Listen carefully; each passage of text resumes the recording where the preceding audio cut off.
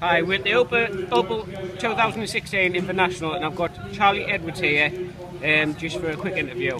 Hi Charley, how's your racing going? Uh, Alright, I'm racing 2 and 4 and my last two was uh, really good and I'm really happy with the car and my 4 was alright but I'm still learning on it. And um, what cars are you running currently at the minute? Uh, two-wheel drive Schumacher KF2 and two-wheel drive, no, four-wheel drive Schumacher K2. And are you happy with the cars? Uh, yeah, Are you glad you changed to them? yeah.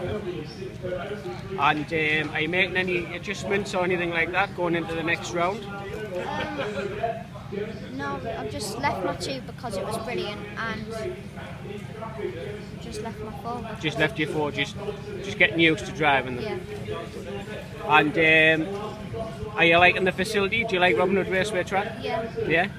I definitely recommend it. I think it's a nice track and it's got good like features. it. And where do you usually race at? Uh, my car club that I usually go to is Seaham, and we try and mix it up to maybe go to Teesside or uh, Benfield sometimes. And what is your favourite class to race? Two wheel drive or four wheel drive? Uh, two-wheel drive because I've uh, raced it for longer time, and I just prefer it as a car. Well, I hope, uh, wish you best of luck for the rest of the races and uh, enjoy the rest of the race. Thank you.